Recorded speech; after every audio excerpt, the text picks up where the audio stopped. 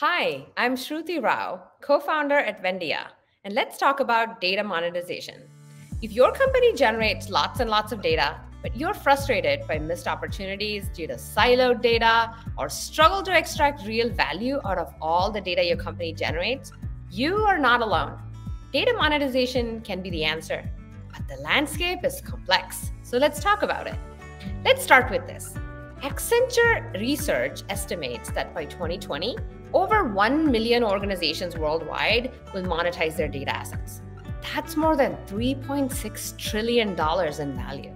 There are three reasons why we're seeing the rise of data monetization. First one is operating companies are collecting, storing, and producing just a lot more data. This is due to the emergence of IoT or digital transformation. Because we've all heard this data is a new oil. The second one is that they are using this new oil to make data driven decisions within the company. Just like raw oil needs refining, companies are analyzing the data they're collecting and extracting crucial insights. These insights are then shared with public in the form of S1 or quarterly reports or industry or analyst reports and so on. So the market as a whole benefits from this data that the particular company is generating and using within their company. The third one is emergence of non-traditional data buyers.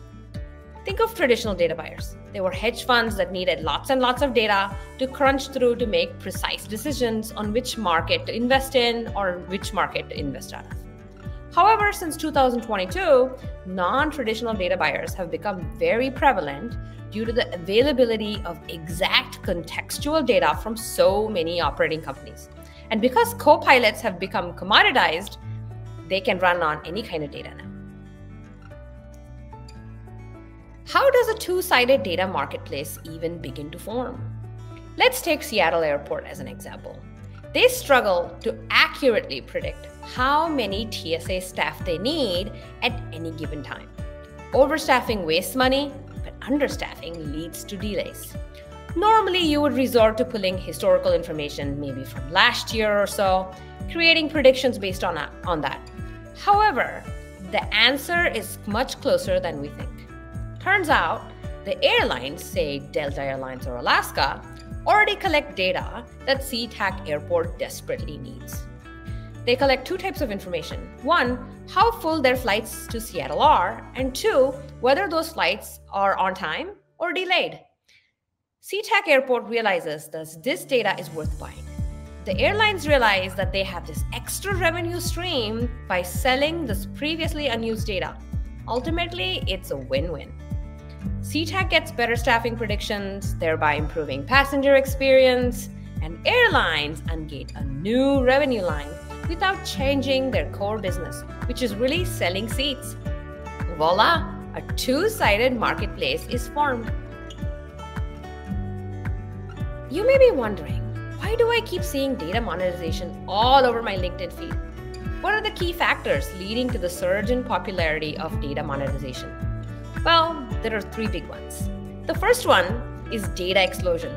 Companies are generating unprecedented amounts of data as a byproduct of their core business operations. Second one is tech modernization. New tech companies and new technology makes it easier to collect and organize data.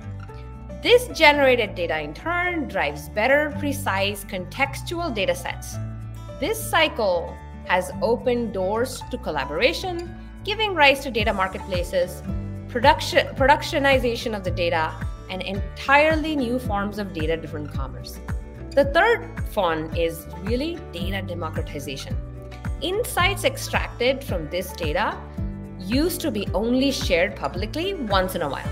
Analyst reports, uh, S1 reports, so on. But now, companies can curate and disseminate this data in many different ways through marketplaces, open listings, selling them to aggregators, which enables non traditional data buyers to easily request and access highly contextual and relevant data for their own decision making. So, more data is being produced that is being curated on usable data products, and now we have ways to democratize that data which is leading to the popularity of data monetization. Want to learn more about data monetization? You can download our ebook. Check out our website, www.vendia.com, and and stay tuned for more content.